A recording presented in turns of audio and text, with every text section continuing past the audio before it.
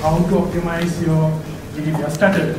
So we found out at the beginning, uh, most of you are still in the beginning or middle of your GDPR journey. So that's good. So you may excited to know some of the best practices, right? Um, yeah. So before I'm going to talk a little bit about myself, so I'm, as I mentioned, I'm a director at WSO2. So, and I'm a technical guy. Uh, I'm mainly focused on uh, identity and access management related uh, product and offering at WSO2. And also in recent past, I have been heavily worked with to get WSO platform to be compliant with GDPR and also I was a member of uh, teamwork to get WSO2 as a business to be in compliance with GDPR. Uh, apart from my day job, I have been a very long-term contributor to open source projects. I have been a, uh, I played a number of roles in Apache Software Foundation. So that's a little bit of my background. Okay, so this is about optimize. So when you optimize, there are two things, right? Uh, what and how. What to optimize and then how to optimize. So in, in, in terms of GDPR, right? Uh, so GDPR is very broad, right? It's, it's really hard or nearly impossible uh, to discuss something uh, considering GDPR thing. So uh, uh, let's break it down. So, in, for the simplicity, so let's uh, take it how to optimize time, cost, and complexity. So these are the one of main three factors. So we are going to discuss how to optimize time, cost, and complexity of your GDPR strategy. So next one. So again, uh, so I'm going to break it down GDPR also into several aspects, mainly three: people, technology, and process. And then I will narrow down my scope into technology because as I mentioned, I'm a technical guy, so I'm not expert in talk about HR side or people side or process side. Okay. Uh, and we are going to discuss three patterns, right, or three best practices. So first, let's start with the first one, right? So this is a typical uh, oversimplified enterprise system, right? You can imagine your systems in your organization. Most of the time, it looks like this, right? Uh, so you may have a sales application, delivery application, HR, payroll, other. You may have many number of applications. Right? This is oversimplified example. So what I want to emphasize in this sample is all this application you have a user management module. Or you have to manage people or users. That is a compulsory requirement. Because for example sales application. Sales application meant to handle your sales and track the sales. But people have to log in and perform these sales. And also when you make a transaction you need to track who is responsible or who is this person and so on. So in operational level you need this data. Same delivery application. Delivery application is meant to deliver the goods. But in order to deliver these things you need some delivery address delivery person and so on. So in practical use cases, almost any application you need user management module. That end up you are replicating or you are duplicating your personal info information, personal identified information in many systems within your organization. So this is the current picture of most of the enterprise systems today. Now, so what's the problem with that? So as obvious, since you are duplicating personal data in several places, you have, in terms of GDPR compliance, now you have to apply uh, data protection each and every point. So in this case, it's, it's a four point, right? And also, uh, number of personal data points means that increase the chance of data breach. If an attacker can attack any of these points, they can get personal information. That increase the chance of data breach.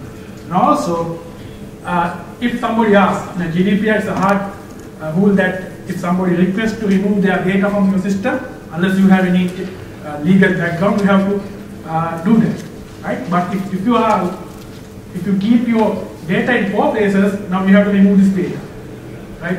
And it, it leads to the data synchronization problems, right? So these are some of the drawbacks of this system. So what's the solution? The solution is what you can do is you can move all of your personal information, basically what we call as identity or user data, into a separate system, right? Instead of uh, duplicating in other business level applications, right? Then, whenever this application, for example, in our case, sales application or delivery application want to get this identity data or user data, they can look up from this centralized module. Usually through uh, secure tokens. In industry, there are industry-wise proven security token. We call that SAML, uh, OpenID Connect, and so on. there are security standards. So based on the standard, they can get uh, this personal information on demand manner. And also, this token are temporary basis. You are you are not storing this personal information in sales application or delivery application. Basically, whenever you want to do that, you ask uh, the central guy, get the information for this particular person, and you consume it, and that's it. Right? So what's the advantage? So what's the advantage granted this uh, pattern? So basically, as you can see, this reduces the development cost and maintenance because now your personal data are stored in only single point. So now you have to protect only that point. And if there are future compliances requirements are emerging, so what you have to do is you have to modify or you have to maintain only that point. So that is the first advantage. The second one is this reduces the complexity of the system. And also, obviously, this reduces the data breach because now attacker has to come to this central point, right? Attacking the sales application or delivery application, that must mean they can obviously get the personal information, right? Uh, and also, this with this architecture, you can easily adapt to future improvements because if you want to bring a new system, you don't need to uh, replicate your user information. Instead, you can easily bring them in systems. Okay, so this this work really well. Now, some of you wonder, uh, my organization use number of cloud applications. In today's world, it's, it's more obvious. As a business, WSO2, we also use number of cloud application and we have seen most of our customers are using large number of cloud applications. In, in such a scenario, how it works.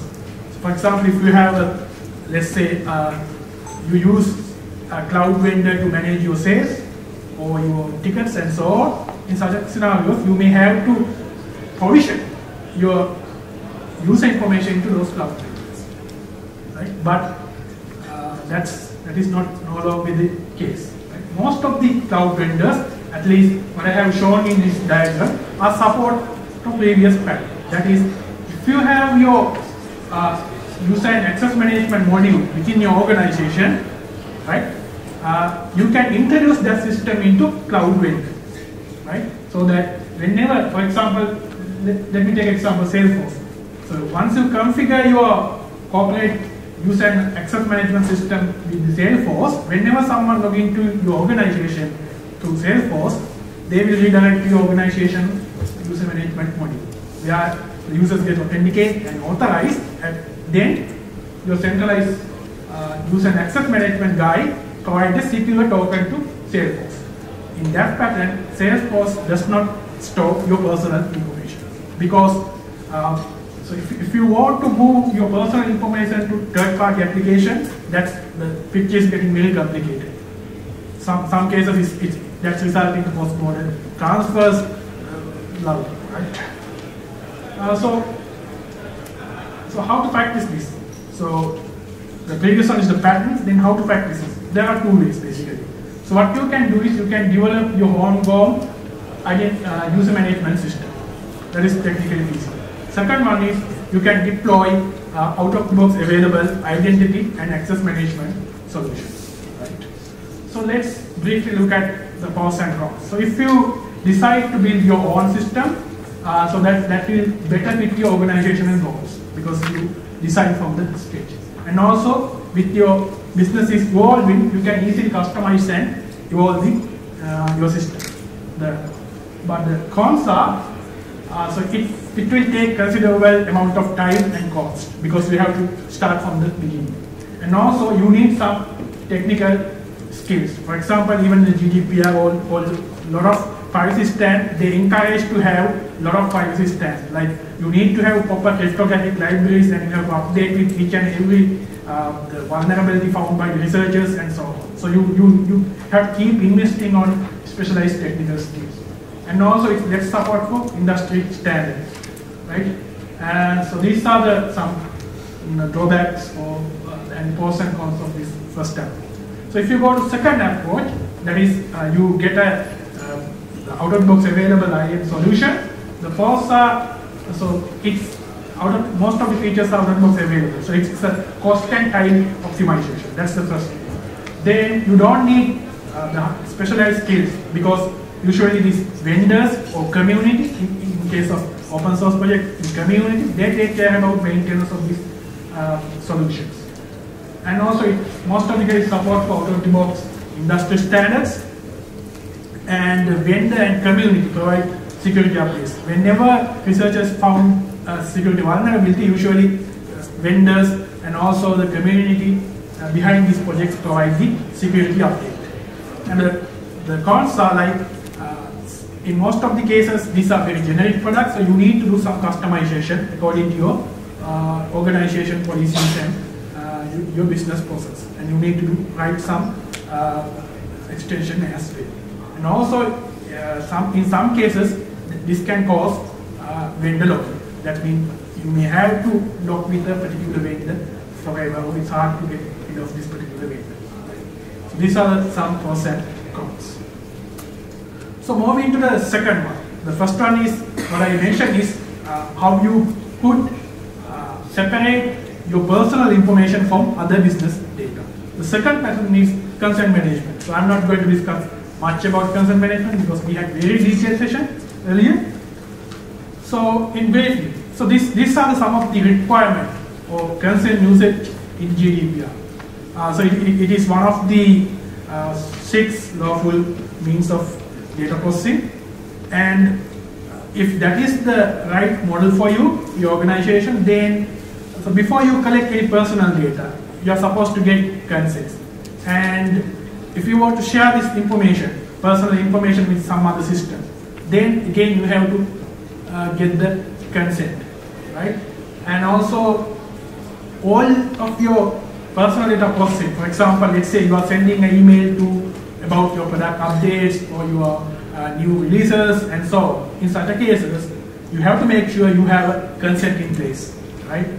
And as an organization, whenever required, you should be able to demonstrate you have a legitimate consent?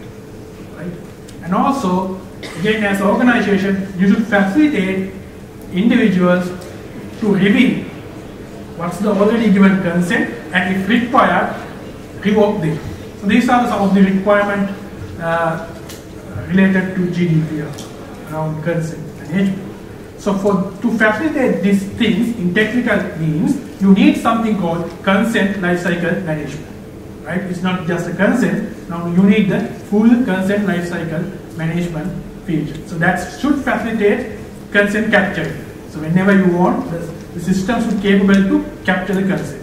And also, it should uh, support for consent storing, and also it should facilitate each and every individual to review what's the uh, consent they have given and revoked, and also consent portability. So that's that's kind of an industry requirements. There are some specifications also coming out uh, from Kantara Institute, like how to uh, interoperable, one consent to another, or one organization to another, especially in financial sector. This is going on a moment, like once you give a consent to one bank and how to uh, interoperable or how to port that to another bank and so. That is the consent port. Other one is the consent API.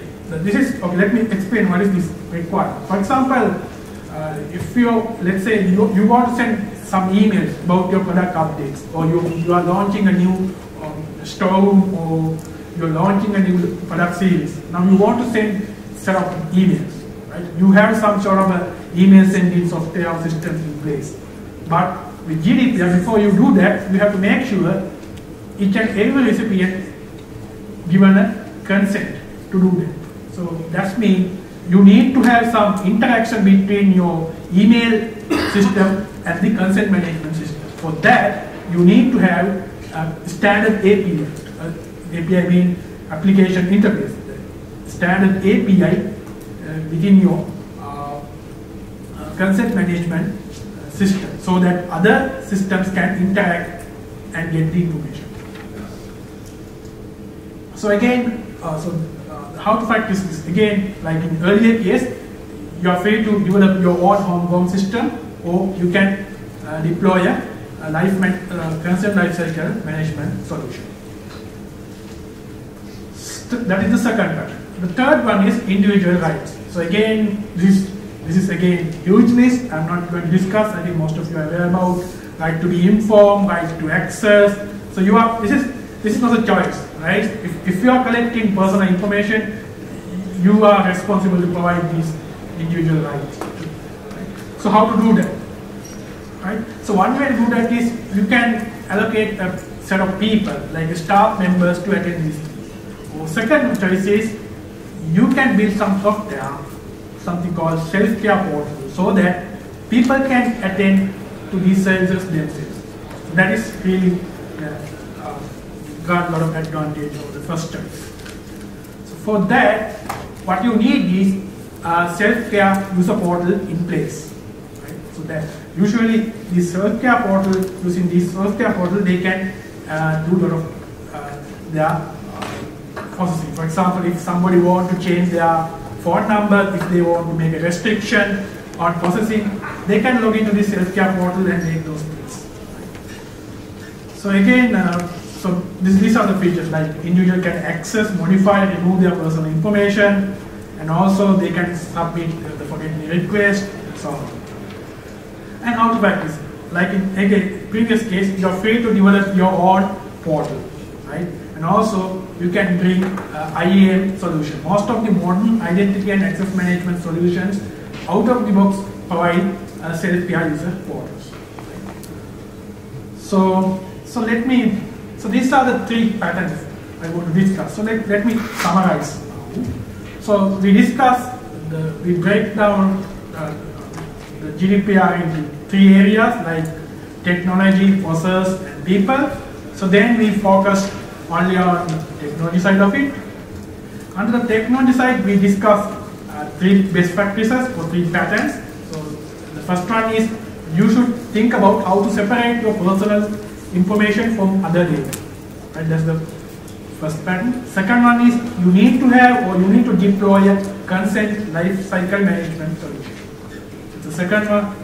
The third one is you need self-care portal, a user self-care portal so that uh, individuals can exercise their individual rights. These are the three patterns we discussed. And when it comes to execution, right? So we have two choices. So the first choice is you can build your own homegrown system. The second one is you can deploy IAM solution that will grant all these three features to you.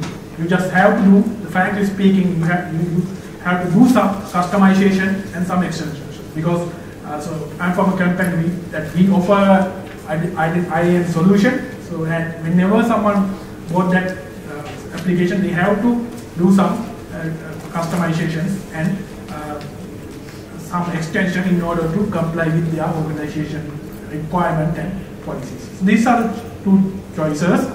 Uh, so, so I'm not going to uh, say this is the best one or other one way around. So sort of what I'm asking is, uh, so these are the two choices. So you have to evaluate your requirement and you have to pick what's the right uh, selection for your.